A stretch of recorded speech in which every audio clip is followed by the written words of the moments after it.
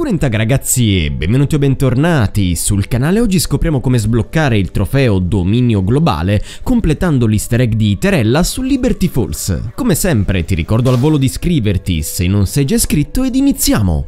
Sul canale trovi la playlist in aggiornamento con tutti i tutorial di Liberty Falls. Allora, innanzitutto dobbiamo essere in possesso della Jet Gun, dopodiché dobbiamo trovare 9 statuine di Terella sparse per la mappa. Le prime 4 statuine si trovano tutte quante nel negozio di fumetti di Holly, precisamente in queste quattro posizioni. Le potremo raccogliere tutte e nove in qualsiasi ordine.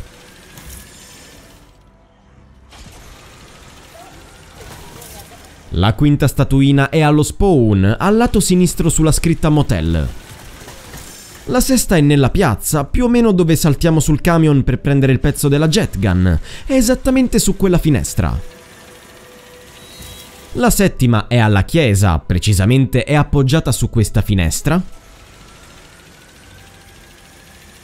L'ottava è all'uscita del bowling, immediatamente sotto la grande insegna Liberty Lanes. E la nona ed ultima la prenderemo scendendo per di qua dal tetto principale. È nascosta dietro quel condotto di ventilazione. Una volta che avremo preso anche la nona statuina, ci trasformeremo per 90 secondi in Iterella e avremo sbloccato l'obiettivo o il trofeo dominio globale. Durante questi 90 secondi saremo completamente invincibili e spareremo continui raggi di etere dagli occhi che falceranno tutto. E questo era il tutorial dell'obiettivo dominio globale e dell'easter egg di Iterella su Liberty Falls.